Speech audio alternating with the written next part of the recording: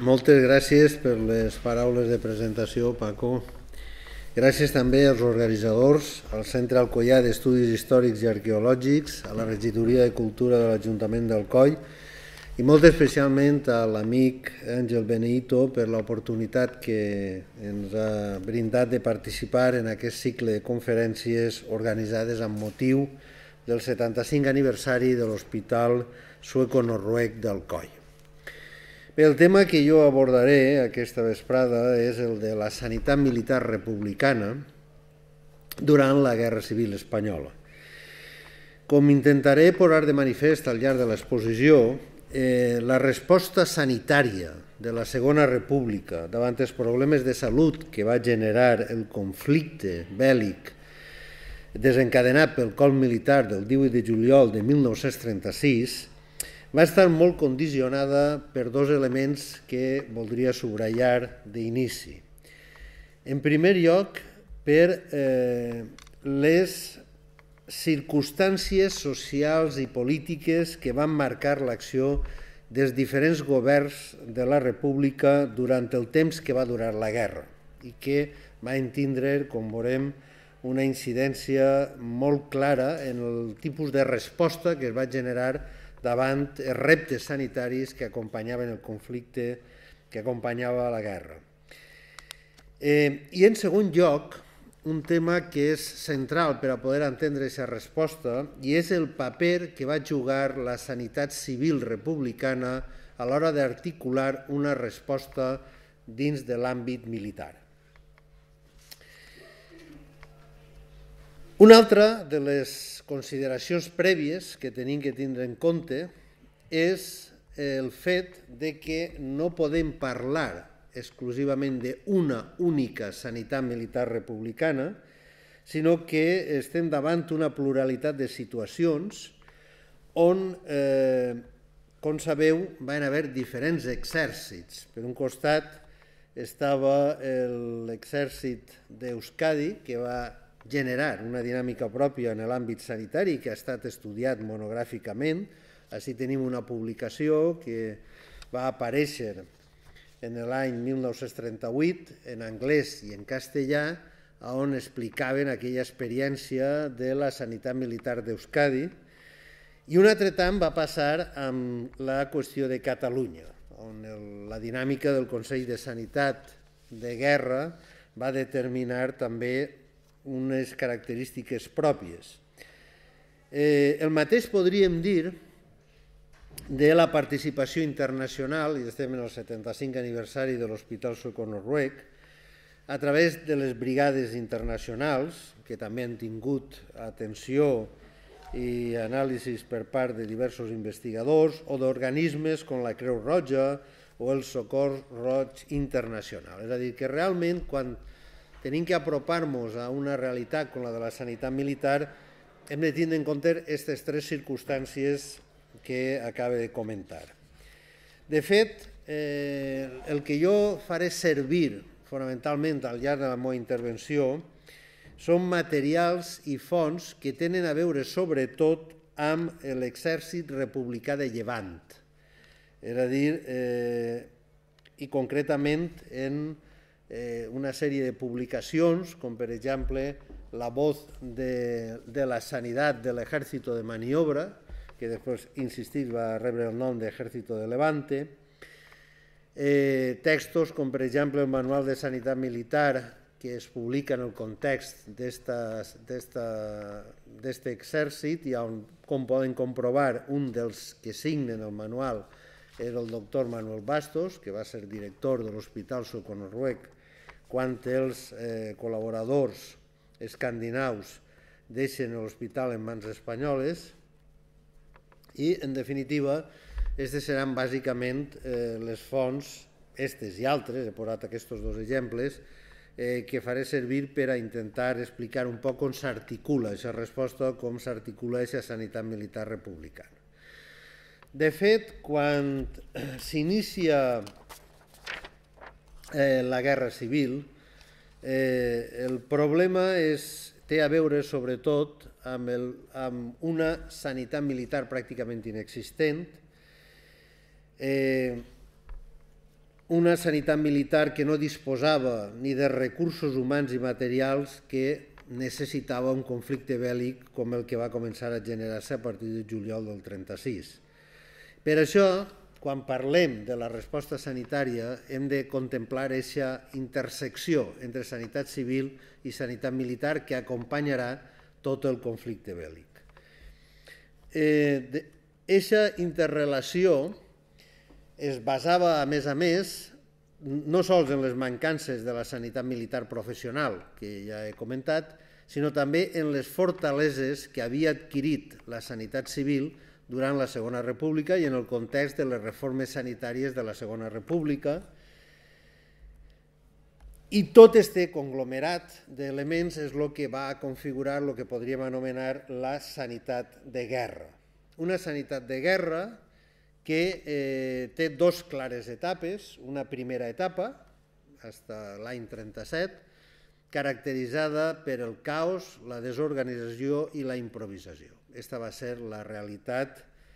De fet, eh, per exemple, en, pel que fa a la qüestió hospitalària, eh, en un primer moment, eh, esta improvisació, este caos, este fet de que tothom volia participar i col·laborar, no? este cartell de Todos en pie de guerra, queda molt ben expressat en un testimoni de José Estellers Salarits, un metge valencià que va ser inspector general de Sanitat entre 1936 i 37, per tant, la màxima autoritat eh, sanitària o una de les màximes autoritats tècniques sanitàries durant el primer període de guerra i més tard comandant de la sanitat de l'exèrcit republicà del centre. Y de ella, apenas comenzada la contienda, hubo que crear o reorganizar servicios de toda índole, y uno de los que mayor actividad absorbió fue indudablemente la sanidad. La militar, bajo el, el mando entonces del doctor Gallardo, funcionaba penosa y aceleradamente, seleccionando y aprovechando o rechazando esfuerzos que no siempre eran útiles, porque en aquellas horas, todavía caóticas, comenzaron a actuar los milicianos y así como organismos muy diferentes creaban unidades de combate, posteriormente más o menos eficaces y duraderas, paralelamente empezó a fructificar una exuberante organización hospitalaria. Fundaban hospitales los partidos políticos, las sindicales y todas las organizaciones en las que había alguien con fantasía, generosidad y alguna mayor o menor preparación. De estas instituciones, unas llegaron a funcionar bien, otras no eran más que el pretexto para que personas generosas, pero bien intencionadas, pero deficientemente orientadas, se entretuvieran dedicando inocentemente sus esfuerzos a los auxilios de guerra. Demasiados hospitales.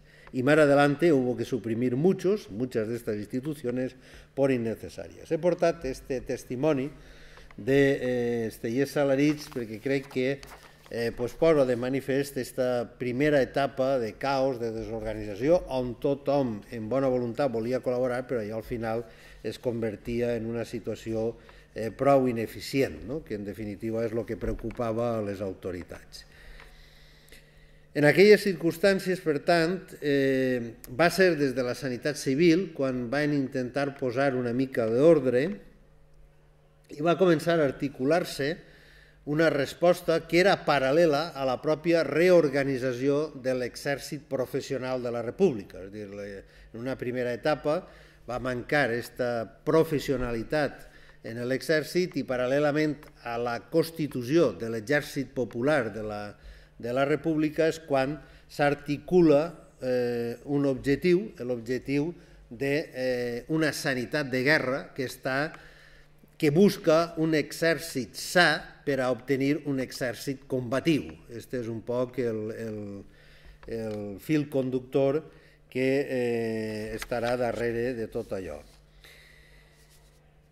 Per tant, a aquella primera etapa de caos, d'improvisació, eh, arribarà una segona etapa, a partir de 1937, en la que eh, es caracteritza per l'organització i per la disciplina. Una organització i una disciplina en la que eh, va enjugar un paper fonamental tot un conjunt de professionals que provenien fonamentalment de dos àmbits. des de, l'àmbit de lo que era el cos nacional de sanitat, diren els sanitaris o els professionals que estaven sobretot en l'àmbit de la salut pública i de l'àmbit acadèmic. Dir, al front de la sanitat militar van estar fonamentalment personatges com Julio Bejarano, que era professor de la Universitat Complutense, que va ser cap de sanitat del cos de carabiners en els primers mesos de guerra i precisament per la seva demostrada eficàcia en l'organització exemplar de la sanitat del cos de carabiners és per lo que va resultar finalment nomenat eh, responsable eh, comandant en cap de la sanitat de l'Exèrcit Popular de la República. O el cas d'un altre acadèmic, com era el farmacòleg Juan Planelles, professor universitari igualment, que en els primers mesos de guerra havia estat nomenat per la Junta de Defensa de Madrid responsable dels serveis sanitaris, càrrec que va ocupar fins a l'any 1937, fins a maig de 1937, quan va passar a assumir la responsabilitat de la subsecretaria de Sanitat del Ministeri d'Instrucció Pública i Sanitat i posteriorment des d'aquest àmbit eh, coordinar totes les actuacions entre la sanitat civil i la sanitat militar. Per tant, estos són un poc els protagonistes que estan darrere d'aquella etapa eh, caracteritzada per l'organització i la disciplina. Insisteix, no eren militars professionals, sinó que eren sobretot metges provinents del cos nacional de sanitat que venien del món acadèmic i que es posen al front d'aquella sanitat. També hi ha que tindre en compte que eh, el repte sanitari que plantejava el conflicte bèl·lic tenia que veure, evidentment, en les víctimes militars, però també tenia que veure amb les víctimes civils i, eh, en certa manera, també amb un problema que estava ahí, que era la població desplaçada i que plantejava també importants reptes sanitaris, així com el deteriorament de les condicions de vida, de les condicions higièniques i sanitàries i l'amenaça, el risc que des del primer moment està present de que en aquell conflicte bèl·lic apareguen epidèmies, malalties epidèmiques que puguen afectar greument al conjunt de la població. Això és el que va estar darrere d'aquella obsessió que els responsables de la sanitat militar i de la sanitat civil va entendre des del primer moment de que hi haguera una coordinació entre els dos àmbits. De fet, eh, existia una Junta Central Delegada d'Hospitals que estava en coordinació la Direcció General de Sanitat i el Ministeri de Guerra. Eh, al, al mateix temps també existia una Junta de Coordinació Sanitària que d'alguna forma intentava que l'actuació des del bàndol republicà fora, com poden veure en les presentacions, una actuació molt coordinada per part de tots els elements. Hi ha que dir que aquesta necessària coordinació entre els dos estaments, la sanitat civil i la sanitat militar, va tindre el seu moment de crisi quan Federica Montseny accedeix al Ministeri eh, de Sanitat i Assistència Social entre novembre de 1936 i maig de 1937 i, de fet, eh, per aquelles picabaralles entre les forces que recolzaven el govern de la República, fonamentalment entre socialistes i anarquistes, es va decidir deixar en suspensió aquests dos organismes que eren fonamentals en la coordinació de totes les activitats. I ahir va haver un enfrontament eh, personal molt directe entre la ministra i José Esteller Salarich, el militar, el metge valencià al que he fet referència abans, així el podem veure en el seu uniforme de comandant de la sanitat del cos eh, de l'exèrcit eh, central, eh, que era inspector general de sanitat, però al mateix temps secretari general de la Federació de Sindicats Metges de la UGT. Este enfrontament personal, però que tenia darrere una forma d'abordar la resposta sanitària que tenia que donar la, la república als, reptes sanitaris de la guerra, eh, pues és un exemple de lo que jo dia al principi, és dir, de que no poden contemplar aquesta resposta sanitària sense tindre en compte la inestabilitat política que en general va caracteritzar als governs republicans i que en el cas de la sanitat va tindre eh, efectivament una, eh, un, una influència important. No? Eh, Bé, però malgrat eh, tots aquests problemes inicials, el ben cert és que a partir de 1937, precisament després de l'abandó de Federica Montseny del Ministeri de Sanitat, és quan poden començar a comptar amb una sanitat de guerra republicana, una sanitat de guerra republicana que estava estructurada al voltant dels cossos d'exèrcit, estava el cos de l'exèrcit central, del centre, el de Llevant, abans el de, que s'anomenava també de maniobra, etc. Les divisions, les brigades, els batallons, hi havia una comandància general de sanitat militar que depenia de l'estat major, del Ministeri de la Guerra, però que, com dit, al mateix temps, aquesta comandància estava en coordinació amb les autoritats de la sanitat civil, i aquesta comandància disposava fonamentalment de tres seccions, una de serveis especials, que eren els mitjans aeris, altra d'evacuacions, ambulàncies i altres mitjans, i una d'hospitals, que era la que estava coordinada en la, amb aquella Junta de Coordinació Sanitària i amb aquella Junta Central Delegada d'Hospitals. Aquesta comandància també tenia tot un organigrama, bueno, tenia una secció eh, per exemple, de defensa eh, antigàs, però després també tenia, no sé si es podrà llegir, crec que no perquè la, la, la transparència és molt menuda, una sèrie de seccions que tenien que veure, per exemple, tot el tema d'higiene bàsiques, com era el proveïment d'aigua, control d'aliments i proveïment d'aliments a les unitats militars, un laboratori central, un servei de farmàcia militar, un de veterinària, a més d'una intendència general de sanitat i una comandant comissaria general de la que depenia fins i tot un servei d'estadística, a més d'un altre de propaganda, després veurem algunes de les activitats de propaganda, d'educació, en definitiva de divulgació sanitària que va dur a terme i que estava molt coordinat, insistís, que en les autoritats civils, en la sanitat civil. O sigui, com podem veure, eh, i fins i tot un servei de cartografia que estava a disposició de la sanitat militar. Una organització molt moderna, una organització eh, molt completa de la que abans de la guerra la sanitat professional, la sanitat militar professional no disposava, és a dir, que en uns pocs mesos sí que van ser capaços eh, de posar en marxa una estructura força important i força, força completa. No? En el front de guerra, estava el que es dia eh, els jocs de classificació. No? Cada batalló disposava d'un metge, d'un practicant i cada companyia se li assignaven dos infermers i en els anomenats llocs de socors estaven, que estaven situats tan prop com era possible de, la, de les línies de foc, allí estaven tots aquests sanitaris que rebien els ferits i els malalts i per a procedir a lo que es dia en el lloc de classificació com i a on tenien que ser evacuats.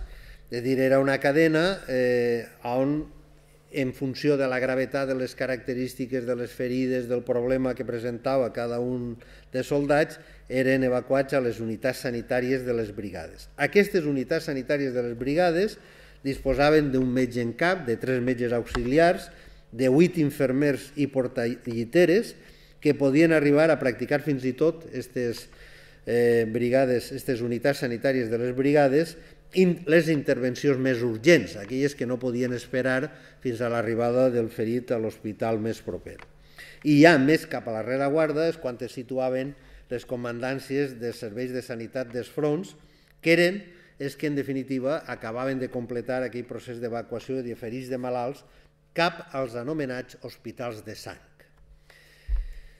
Uns hospitals de sang que estaven reservats per als ferits de guerra, però també cap a altres centres sanitaris, hospitalaris, etc., per les característiques a lo millor del malalt que requerien l'atenció d'algunes unitats, i centres de recuperació i rehabilitació. Però, com després explicaré, eh, tot aquest esforç organitzatiu també va anar acompanyat en tot moment d'una important autocrítica. Eh? I en les publicacions que hem pogut consultar, hi ha eh, molts testimonis que diuen bueno, les coses teòricament tindrien que ser així, però en la pràctica no són així. I per què no són així? Pues, fonamentalment per la manca de mitjans adequats, per exemple, per a poder garantir aquest trasllat, aquesta evacuació dels malalts fins a els punts que estaven en principi eh, destinats no? i a les dependències hospitalàries que no sols depenien de la sanitat militar, sinó que, com dic, depenien de les autoritats civils, de la Creu Roja o del Socor Roig Internacional.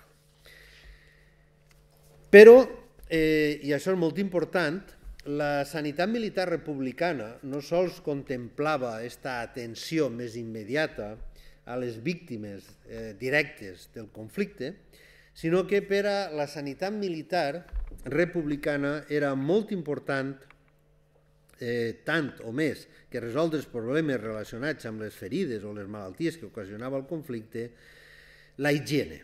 La higiene en mayúscules. La higiene estava considerada un pilar fonamental de la sanitat de guerra. De fet, eh, ahir ho teniu en un titular que apareix en la revista que editava l'Exèrcit Republicà de Llevant, és un text de 1938, i es titula així, La higiene és la fortificació de la sanitat. Es defensava la idea de que una higiene eh, sabia, que la higiene sabia eh, la idea de que una sanitat dedicada només a evacuar els ferits i en certa manera, i entre comilles, vegetar en els períodes de calma, era una sanitat incompleta, i seguint el, el símil de la fortificació, el que s'havia de fer era preparar a les tropes després del combat i que eh, la sanitat també tenia que, eh, o s'havia de bastir de les seues fortificacions. Quines eren les fortificacions d'esta sanitat? Pues, evidentment, que aquestes tropes tingueren uns serveis higiènico-sanitaris en condicions, excusats, abocadors, higienització i desinfectació regular de les dependències, una formació sanitària dels soldats. I així tenim una cartilla sanitària completíssima que eh, s'impartia, s'entregava a tots els combatents. Una fortificació que tenia que continuar també amb la recuperació física del, eh, del soldat, però també donant-li tota una sèrie d'instruccions. Ahir, per exemple, de com tenia que eh, fer eh, la capacidad de marcha, tanto en resistencia como en movilidad, es la primera condición de la eficacia del arma fundamental de la guerra, la infanteria, etc. No? Exemples que, eh, o per exemple, una qüestió molt important, aquests cartells informatius sobre la importància de la higiene dental, no? perquè era eh, fonamental eh, i estava darrere de molts problemes que tenien que veure en una alimentació deficient, quan no es podia mastegar adequadament i per tant tot això eh, insistís que era una qüestió sobre la que s'insistia. No? Eh, així tenen un altre exemple eh, de la higiene que tenia que mantenir-se en els aliments, en les begudes, o tota la qüestió relacionada amb una aigua en condicions, de fet, com he dit abans, dintre de, de l'organigrama de la Comandància de Sanitat Militar hi havia tot un apartat dedicat al tema del cicle de l'aigua, que era fonamental per a mantenir la higiene de les tropes. Com també eh, el tema de l'exercici físic, eh? l'exercici físic i mantenir aquell soldat en unes condicions, eh, i aquest és un cartell d'educació física eh, per a preparar les tropes per a les penalitats que pogueren patir durant el conflicte, no? eh, sense oblidar l'estat anímic del, eh, de les tropes i, de fet, dintre de la sanitat militar estaven el que s'anomenaven els comissaris de sanitat. Esta figura dels comissaris de sanitat eh, estaven encarregats, a més d'una formació política antifeixista, estaven sobretot encarregats de dur a terme una sèrie d'activitats dirigides a elevar la moral de les tropes, és a dir, un poc el suport psicològic que calia donar a aquells eh, soldats. Però, com he dit, eh, tot aquest esforç organitzatiu va anar acompanyat, i crec que és una cosa que convé subratllar, també d'un espírit d'autocrítica continu, no? és dir, eren conscients de que allò no acabava de funcionar de que calia millorar-ho i este és un, un, una, un article que es publica eh, en l'any 1938, diu a los dos anys, no? A los dos anys i fan un balanç de, eh, de lo que havia estat eh, les iniciatives que s'havien pres i en este balanç el, la, la consideració crítica que fan és la següent. En primer lloc, denuncien la manca de recursos, sobretot els hospitals mòbils. Aquesta és una qüestió que va preocupar des del primer moment i que mai va acabar de resoldre's, perquè el problema era que els hospitals que acabaven posant en els llocs més propers als fronts de guerra generalment eren en instal·lacions molt deficients, on era molt difícil garantir eh, les condicions higièniques, sanitàries adequades per a aquests tipus d'intervenció, de primeres intervencions. Entonces, aquests hospitals mòbils, que després en la Segona Guerra Mundial van funcionar amb molta eficàcia, eh, la sanitat militar republicana va intentar posar-los en marxa, però eh, hi van haver eh, problemes importants. Una altra crítica que es feia era el problema dels enllaços, la comunicació entre la sanitat del front i la de rereguarda, que no acabava de funcionar i que era vital per a tot el tema de les evacuacions dels ferits. És dir, en tot moment, eh, els diferents eh, passos que es tenien que donar des de l'evacuació dels ferits fins al lloc on tenien que arribar tenia que ser una informació fluida, tenien que saber les característiques, el nombre, eh, les patologies, les problemàtiques, quines necessitats quirúrgiques o no quirúrgiques, i tot això no acabava de funcionar. No? És, dir, és interessant destacar aquesta reflexió crítica, més en un context bèl·lic com aquell, on podria parecer que aquesta era informació reservada. Pues no, això estava publicat en, en una revista com era La voz de la sanitat de l'Ejército de Maniobra, l'Ejército de Levante. L'altra qüestió era l'absència la, d'estadístiques. Estadístiques per a poder conèixer, per exemple, quin era el grau de recuperació dels ferits i si els centres de recuperació i de convalescència funcionaven o no funcionaven. Per què eh, determinats soldats estaven més temps del necessari en aquests centres de recuperació i convalescència quan, a més, lo important era que immediatament tornaren al front, tornaren a l'activitat, etc. No? També eh, el, perdó, la qüestió dels equips quirúrgics, tenien uns bons equips quirúrgics, però hi havia una manca de recursos per a la recuperació. És a dir, el, gra, el greu problema era que eh, molts, les intervencions eren molt bones, perquè hi havia bones mans, bons cirurgians, bons equips, però després el seguiment d'aquests malalts era on plantejava problemes per la manca de recursos, de mitjans, etc. No? Llavors, tot això eh, ho denuncien i eh, d'alguna forma el que acaba passant és com la... Bueno, i després l'últim element, que és el que ve, el que explica el que a continuació comentaré, la deficient preparació de sanitaris. És a dir, no per tindre una, una formació sanitària ja s'estava en condicions de conèixer el que es tenia que fer en un context bèl·lic com aquell, però sobretot també aquelles persones que formaven part de la sanitat militar però que no tenien una formació. Per això, el que intenten eh, des del primer moment i, i particularment a partir de 1938 és eh, d'alguna forma millorar aquesta formació. No? Així tenim el manual de sanitat militar que hem vist al principi, que es publica en el 38, que era una forma de pal·liar aquestes mancances. De fet, es planteja la necessitat de crear una escola de sanitat militar. No? I com dia un dels textos, diu, eh, es trata de substituir l'escola de l'experiència per una autèntica formació regular, no? una acadèmia de sanitat militar que poguera d'alguna forma eh, combatre des de l'Acadèmia de Sanitat Militar totes aquestes deficiències que he anat eh, plantejant.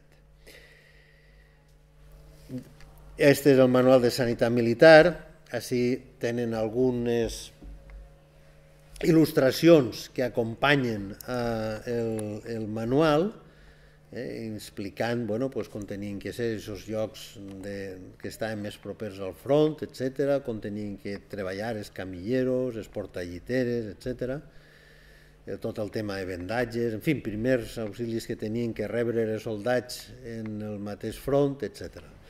Però clar, després també hi havia una altra qüestió eh, que té a veure amb el que comentava al principi, i és que eh, l'exèrcit i els soldats no estaven immunes a la eh, situació epidemiològica general que vivia el país, una situació epidemiològica que va estar en tot moment més o menys controlada, però que lògicament va anar deteriorant-se a mesura que avançava la guerra. Mm? I ahir tenim, per exemple, eh, la progressió del llit de malalts tuberculosos, que en certa manera pues, també posa de manifest eh, un problema com el de la tuberculosi, que va anar agreujant-se a mesura que avançava el, eh, el conflicte, però també l'aparició de la febre tifoidea, de la disenteria, del tifus exantemàtic, del paludisme, la pigota, etc. No? tota una sèrie de qüestions que, com dic, estaven més o menys eh, controlades, però que, malgrat aquest control, van anar incrementant-se. No? De fet, la pròpia sanitat eh, militar publica, l'exèrcit de Llevant, ja havia canviat el nom, Así tenim, eh, per exemple, consejos sanitarios a los combatientes, ¿no? com luchar contra el paludisme. En aquell moment hi ha un rebrot del paludisme i ahí dona una sèrie de consells de com tenien que protegir-se per a no agafar la malària, per a no agafar el paludisme. El mateix passava en tot el tema de la febre tifoidea, que era una malaltia molt lligada al deteriorament de les condicions higièniques, particularment al tema del cicle de l'aigua. Eh, o eh, també tot el tema de la importància de les vacunes, de les que ja es disposava alguna en aquell moment, però també la qüestió de les malalties venèries, etc. No? És a dir, una, tota una sèrie de qüestions, eh, o el no consum d'alcohol, eh, que eh, des de la sanitat militar també eh, es cuidava eh, particularment, no? perquè eren molt importants i perquè acabaven, en definitiva, afectant al, a l'exèrcit i, per tant, a l'eficàcia d'aquest exèrcit. La sanitat militar, eh, que estava en confluència en, el, en la sanitat civil, com hem comentat, eh, també va fer mm, aportacions rellevants en l'àmbit de la Guerra Civil Espanyola. És a dir, eh, ja que he destacat, per exemple, tot el tema de l'atenció a la infantesa que eh, en quant que eren víctimes de la guerra civil, evidentment l'atenció a la infantesa estava en mans de la sanitat civil, però eh, també molts metges militars d'alguna forma van assumir l'atenció d'esta població més, diguem-ne, més propícia per a ser afectada per aquelles dures condicions. De fet, la primera gràfica de desenvolupament del lactant espanyol que es publica, on és que teniu fills o heu tingut fills, sabeu que és aquesta cartilla sanitària on podem controlar el pes, l'altura i, i veure si realment eh, d'alguna forma el xiquet o la xiqueta estan creixent adequadament, es publica en dades recollides durant la Guerra Civil i concretament la fa un metge poricultor que en aquell moment també exercia funcions de metge militar que explica eh, en el text on presenta aquesta gràfica, diu, com a conseqüència de nuestra trágica guerra, pero en unas circunstancias que permitieron analizar una muestra que resultaba válida para el conjunto de la población española, Por motivos desgraciados en la época en que fueron recogidos los datos, se vieron obligados a acudir a los servicios sanitarios todas las esferas sociales, ya que no era posible proporcionarse el proporcionarse en otro lugar la alimentación de sus hijos. Y no solo es producto de una mezcla de gentes, sino también de varias regiones de España. Era toches evacuats que estaban en la zona de Valencia. La pesada o sigui, quan es pesaven els xiquets i les medicions d'altura, eren efectuades en regularitat, ja que era obligatori per a rebre els aliments. És a dir, per a que els xiquets i les famílies de xiquets pogueren rebre els aliments, que insistís, molts d'ells estaven en, en, organitzats per la pròpia sanitat militar, és a dir, l'abastiment de, de soldats, però també l'abastiment de població de risc, com era el cas dels xiquets, per a poder rebre això tenien que ser els xiquets controlats d'alguna forma, no? controlats que efectivament aquests aliments repercutien en una evolució del seu estat de salut adequada. Va fer que pogueren obtenir dades que després van permetre considerar que eren dades representatives de tota la població espanyola i de fet esta és una de les primeres gràfiques que es publica. No? Si tenim aquests dispensaris de puricultura que dic l'abastiment i el control estava també molt relacionat, és un exemple de cooperació entre sanitat militar i sanitat civil. Però sobretot és interessant la sinergia que es va establir entre la sanitat militar i la sanitat civil en un tema com era el de l'alimentació. Durant la Segona República s'havia treballat eh, per crear un Institut Nacional d'Higiene de l'Alimentació que mai va arribar a posar-se en marxa. Pues va tindre que ser la sanitat militar la que impulsara aquest Institut Nacional d'Higiene de l'Alimentació, de fet, així veiem el suplement que es publica en la Vot, de, la Vot de la Sanitat, que era una revista militar, en un quadre de les vitamines i la distribució de les més importants. És a dir, era clau no sols que l'exèrcit, el, els soldats tingueren una alimentació adequada en quantitat, sinó també en qualitat. I aquest esforç que fa la sanitat militar i que permet en aquesta sinergia entre la sanitat civil i militar que jo explicava que es produís des del primer moment, es produïsca la creació d'aquest Institut Nacional d'Higiene de l'Alimentació que és un dels primers instituts que es creen a nivell europeu, inclús a nivell mundial, no? perquè va ser en l'any 1937 quan es va crear. No? Era molt important tot el tema de l'alimentació i tot això, a més a més, en un context en el que, eh, evidentment, el tema de l'assistència sociosanitària va prendre en, en la Guerra Civil Espanyola una importància eh, fonamental. Però, com dic, també la sanitat militar republicana, a banda d'aquestes sinergies entre la sanitat civil i la sanitat militar, va fer aportacions rellevants, com per exemple tot el tema de la transfusió de sang. Eh, va ser en la Guerra Civil Espanyola quan es posa en marxa tot una, eh, tota una dinàmica en el tema de les transfusions que després es farà servir en la Segona Guerra Mundial, i que va tindre eh, en la figura del comandant Gil Barber, aquest és un text que ell publica sobre la, trans la transfusió de sangre en la guerra, en la guerra actual, i este model de, que va posar en marxa la sanitat militar republicana després va ser, com dic, incorporat amb tota la naturalitat en eh, la Segona Guerra Mundial. Clar, la transfusió de sang era fonamental en la recuperació de molts d'aquells ferits i hem de pensar que eh, la Guerra Civil espanyola, com sabem, va ser un laboratori de proves de moltes coses, també un, un laboratori de proves de respostes que en aquest cas doncs, van ser molt importants, molt relevants i eh, van tindre després el seu resó a nivell internacional i concretament en el context eh, de la Segona Guerra Mundial. No?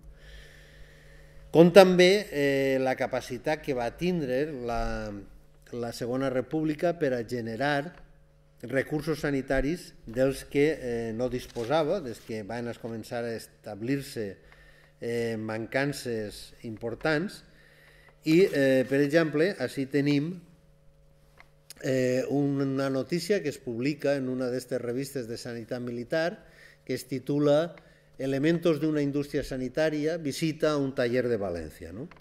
Entonces, eh, concretamente a la población valenciana y es digo industrias que florecían no solo en nuestra zona, porque, por ejemplo, en un pueblecito de Valencia había una fábrica de, de lentes dirigida por dos ingenieros tan entusiastas que por la noche daban lecciones de óptica a los labriegos, de los, de los que habían hecho técnicos en esta especialidad con el fin de que su trabajo fuera tanto más exacto, preciso y acabado cuando mejor conociesen la motivación de determinados artificios y operaciones. En Almácera se fabricó toda clase de lentes, Se hicieron excelentes prismáticos y se trabajaba con tal precisión que llegaron a confeccionar lentes para los periscopios de nuestros submarinos. uno de estos ingenieros, don Cristóbal Garrigosa, no solamente construyó prismáticos y, como hemos dicho, lentes para submarinos, sino además para visores para tanques y unos magníficos telemetros cuyo tipo inventó totalmente y que eran notablemente superiores a sus contemporáneos en uso. A dir, una indústria que en principi estava cobrint unes necessitats, diguem-ne, que tenien que veure amb la higiene de la visió, que després deriva cap a una eh, producció de material molt sensible des del punt de vista militar, que en aquell moment pues, no podia abastir-se per les circumstàncies en les que estava envoltada la Segona República i que, eh, com podem veure en aquests exemples, pues, va entendre eh, un, un desenvolupament prou important. Per tant, com podem comprovar, la resposta sanitària, la sanitat militar republicana, va estar, eh, diguem-ne, un esforç important, probablement incomplet, però eh, prou eh, destacat, sobretot si tenim en compte eh, les dificultats que va entendre que gestionar tota aquella resposta. No? D'alguna forma, podríem resumir tot el que he estat explicant i un poc a tall de conclusions, dient que la sanitat eh, de guerra republicana, que va estar caracteritzada per la pluralitat i per la manca d'homogenitat administrativa i funcional de les seues unitats, de fet, la història és una, si el que fem és seguir eh, el que va passar en l'experiència d'Euskadi, el que va passar en Catalunya, el que va passar en l'exèrcit o en el cos de l'exèrcit del centre o el que va passar en el cos de l'exèrcit de Llevant, i és una, o sigui, depèn de on, com ho mirem, però sí que va ser en tots els casos, tant en el d'Euskadi, Catalunya, com eh, l'exèrcit eh, de la República, unes iniciatives deutores de l'important esforç d'adaptació que va fer la sanitat civil al conflicte bèl·lic i a lo que reclamava el repte sanitari de la guerra. En un primer moment, com he comentat, la improvisació i una certa desorganització van marcar eh, la resposta sanitària, la infraestructura hospitalària va acaparar la majoria de recursos, però ja en una segona etapa, sobretot a partir de 1937, es aconseguís un servei sanitari militaritzat, disciplinat, que eh, d'alguna forma va, malgrat algun episodi com el que hem comentat, va estar sempre en coordinació amb la sanitat civil i on aquella primera diguem-ne tensió que es va produir entre l'àmbit professional de la sanitat militar, els pocs, els pocs professionals militars que es dedicaven a sanitat i el que ells consideraven els amateurs, al final va acabar per imposant-se una dinàmica que no era una altra que la de posar en marxa una nova sanitat militar. És a dir, és molt interessant comparar la sanitat militar republicana en la sanitat militar del bàndol nacional i el que van fer uns i altres. Eh, I sobretot, una qüestió que jo crec que, és, que convé destacar és eh, la importància que en tot moment li se va donar per part de la sanitat militar republicana a la higiene i a la prevenció, a la higiene i a les mesures preventives. I es van convertir en una de les claus de l'èxit de la sanitat eh, de, la, de la sanitat de guerra republicana, és a dir, aquesta visió preventiva dels problemes, aquesta visió preventiva que insisteix, que no em cansaré de dir-ho, en coordinació en la sanitat civil és el que va permetre evitar el deteriorament epidemiològic, l'aparició d'epidèmies, l'aparició d'una sèrie de problemes de salut que des d'àmbits internacionals estaven molt preocupats perquè no s'explicaven com no apareixien epidèmies, brots epidèmics, acompanyant a totes aquelles poblacions desplaçades que es van produir en el bàndol republicà i que té la seva explicació, insisteix, que en aquesta idea que li se dona des del primer moment al tema de eh, la higiene, la prevenció i, en definitiva, garantir la salut de la població i controlar possible deteriorament epidemiològic. Ahir, evidentment, va ser clau el grau d'institucionalització que havia assolit durant la Segona República la, la salut pública, la medicina preventiva i comunitària durant els primers anys de la República i que, com dic, van ser fonamentals per a desenvolupar moltes de les iniciatives i campanyes sanitàries que es van dur a terme durant la Guerra Civil, com és el cas de la higiene o l'atenció a la població infantil. Mm? una atenció que va ser modèlica i que va permetre evitar molts problemes i moltes conseqüències que després, malauradament, en la postguerra van ser dramàtics. No? I, eh, per últim, el que comentava en l'última part de l'exposició, com sol ser habitual en els conflictes bèl·lics, juntament amb les tràgiques conseqüències que se'n deriven, també en el cas de la Guerra Civil Espanyola, la sanitat de guerra republicana va ser capaç de produir un cos doctrinal, de generar una dinàmica de divulgació de coneixements higiènics i sanitaris i d'introduir millores tècniques en els procediments i protocols quirúrgics i assistencials. Tenim l'exemple del català Trueba, però jo he volgut enfatitzar la qüestió de eh, les transfusions de sang, de com es va organitzar tot el tema, tota la cadena de les transfusions de sang, perquè va ser modèlic i, com dic, després va ser un, un exemple que va servir per a ser aplicat durant la Segona Guerra Mundial. I, bueno, i bàsicament això era el que volia compartir amb tots vostès, amb tots vosaltres, i eh, per dedicar uns minuts, si voleu, al debat o a les preguntes que vulgueu fer. Moltes gràcies.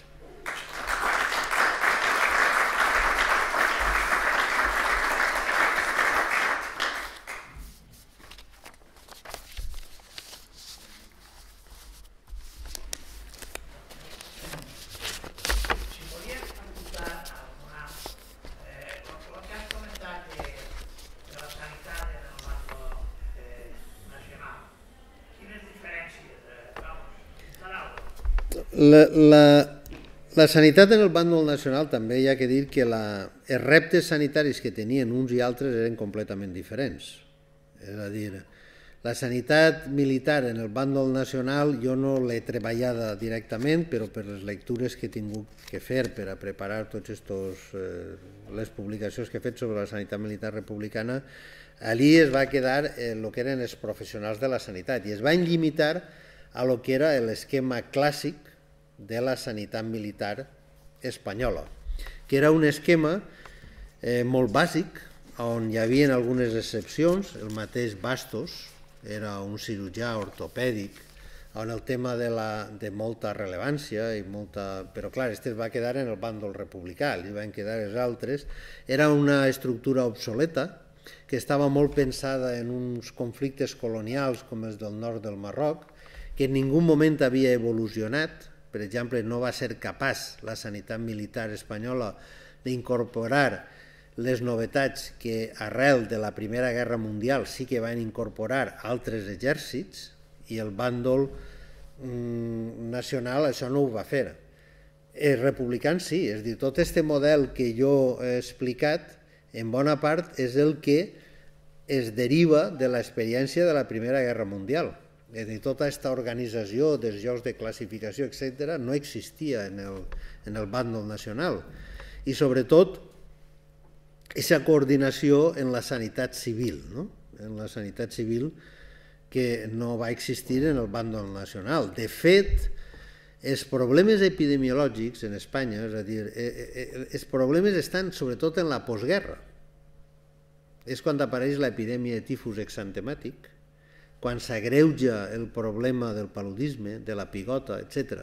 I ahir és la, desestructuració més absoluta de la sanitat republicana i una sanitat que és incapaç en aquell moment perquè està en mans fonamentalment del, dels militars, no? que són en els que els primers mesos de la postguerra controlen tot allò.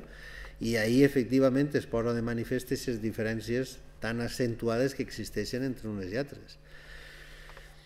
De totes formes, jo sí que vull subratllar una cosa, i és que eh, ells van posar en marxa un model teòric que no va acabar de funcionar i per això he volgut subratllar aquesta autocrítica que fan. Eh? És a dir, que en el paper estava tot molt bé, però en la pràctica es va entropeçar en falta de recursos, falta de preparació, eh, gent i, i la dispersió de competències que van haver en els primers anys de guerra, després això ja es va corregir, però, però la diferència fonamental era que en el bàndol nacional era aquella sanitat professional militar obsoleta que no havia estat capaç de renovar-se i que, eh, per altra banda, actua com un exèrcit, com va ser l'exèrcit colpista, és a dir, un exèrcit que el seu objectiu era arrasar allà per on anava sense contemplar res més. No?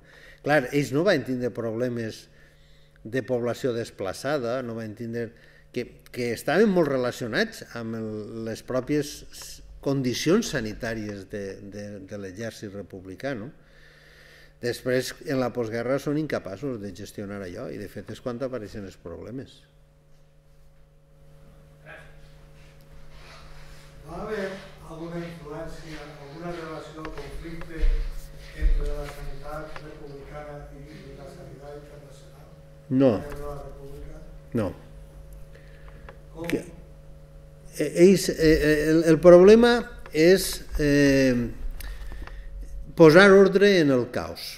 És a dir, en els primers mesos és un caos total. Per què? Pues perquè cada un va pel seu compte, no hi ha una coordinació, i llavors la, el repte era ese, el repte era que tot tenia que passar per una comandància única. I clar, ahir sí que van haver problemes en el sentit de que, clar, eh, moltes, per exemple, els hospitals que depenien de Socor Roig Internacional o, o que depenien de partits polítics i tal, eren reticents a que hi haguera un comandament únic que determinara les dinàmiques d'aquestes institucions i dels, dels serveis que podien prestar aquestes institucions. Però més enllà d'aquest problema de coordinació, jo crec que no va haver un problema eh, important. Eh? Vull dir que al final la, la cooperació va acabar funcionant i es va acabar imposant una dinàmica de sentit comú. No? Vull dir que amb independència d'aquests primers moments de caos i de descoordinació que sí que podrien haver alguns enfrontaments, però jo la percepció que tinc i per lo que he pogut llegir i consultar, al final allò va acabar funcionant. No sé si la pregunta l'has feta perquè has sentit parlar de que hi haguera problemes o algun exemple concret. No, cosa completament distinta, si no hi ha relació...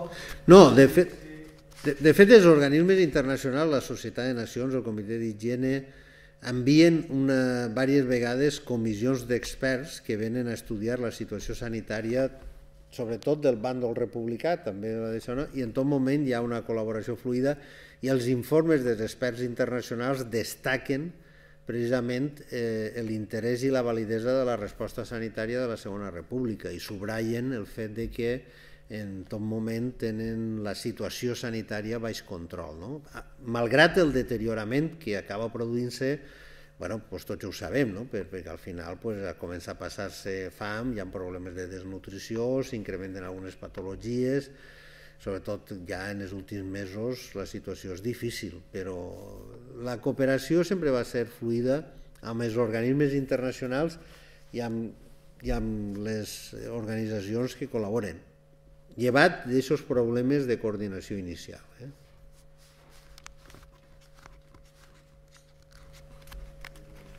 Saps si aquest model teòric que es va engegar durant, la, durant, la, durant, la, guerra, durant la guerra de la República, de la República va ser després exportat eh, per metges sanitaris quan se'n van anar a l'exili sí. després per la Segona Guerra Mundial. Es va aprofitar, per exemple, tota l'experiència eh, de la cirurgia plàstica, equips quirúrgics que havien treballat molt la cirurgia plàstica, d'alguna forma després van col·laborar amb les forces aliades en, i van captar les, les forces aliades amb molts professionals eh, per exemple, que, teni, que havien desenvolupat fins i tot procediments quirúrgics molt interessants que després van ser aplicats. L'experiència del traumatòleg Trueba, que va ser aplicat.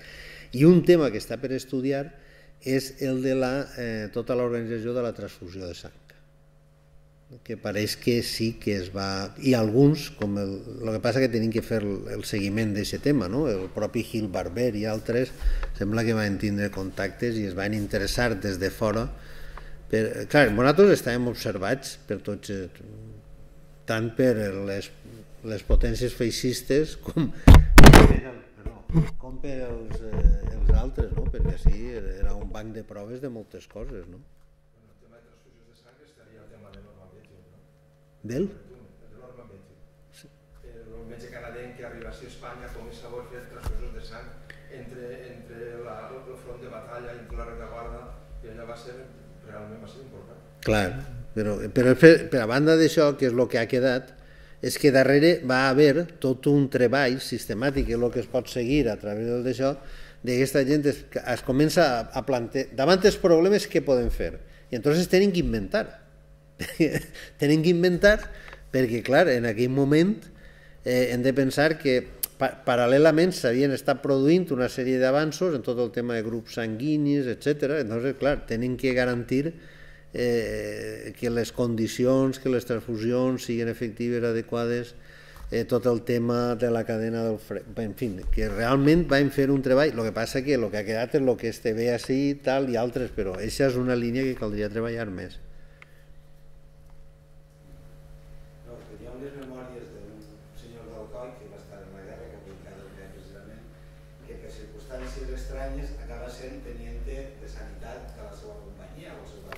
Mm. i detectes, llegiu el que hi compta, perquè este no és un professional de la sanitat.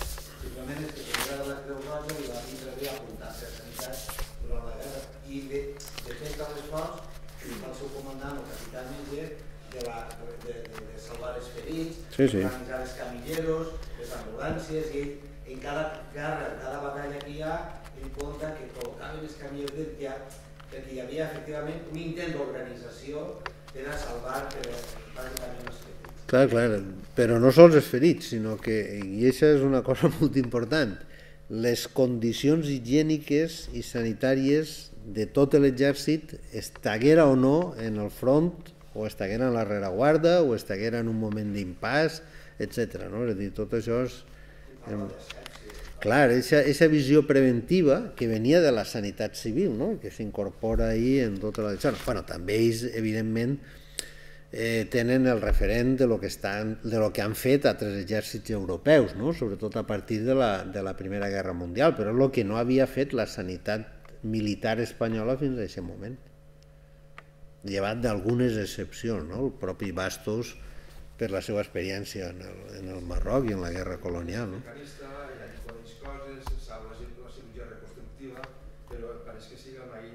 Clar, en un desert, aquesta és la situació, no? I de fet, aquest enfrontament que hi ha entre els pocs professionals de la sanitat militar que queden en el bàndol republicà, perquè són molt pocs, i el que ells consideren els amateurs, que fonamentalment són acadèmics i gent del cos nacional de sanitat. O sigui, professors universitaris i gent del cos nacional de sanitat que són els que es fan càrrec de, de la sanitat militar. No? Has detectat en la investigació si el fet de que Negrín, que era metge, influïa en això o Negrín estava en, en altres estats? No. Ordre especial? No, no, no perquè eh, era dir, realment pensem que el que està al front de tota aquesta cosa és Julio Bejarano. Julio Bejarano és una persona molt prop, molt prop a Negrín, vull dir, ell és deixeble de Gustavo Pitaluga, vull dir que està en l'òrbita del, del Partit Socialista i tal, no? Eh, per tant, diguem-ne que Negrín no tenia necessitat d'intervenir perquè eren gent de la seva òrbita o de col·laboradors del seu entorn més immediat és que, és que ho tenen, no? Eh, I de fet, mm, la sanitat militar sempre va tindre una bona consideració, o sea, perquè hi havia... O sea, era una de les coses, tinc la impressió, que millor va funcionar no? en, el, en el context bèl·lic i en la resposta de la Segona República. No? La sanitat militar jo crec que sí va ser molt... Però no, en el cas de Negrín no... no... bueno, jo almenys no, no, no ho vist, no? Però ahí la, la importància són figures com la de Julio Bejarano, que són els que estan, que és el comandante, el, el responsable no? de la sanitat militar. que no era militar. Ell és un acadèmic, és un professor universitari que té que fer-se front, té que fer-se càrrec, perdó, de la sanitat del cos de carabiners. I a partir d'ahir és quan ell organitza tot això i, i, i pega el vot. Sí que és veritat, i en això té raó, que el vot el pega quan Negrín arriba a la presidència del govern. Que ahir sí que hi ha algunes decisions que sí que tenen que veure amb la, la influència del... Sí, ahir sí, en això sí que té raó, sí.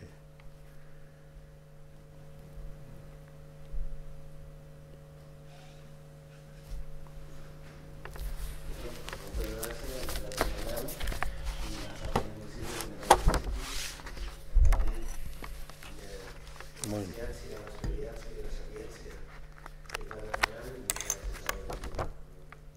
Gràcies a vosaltres.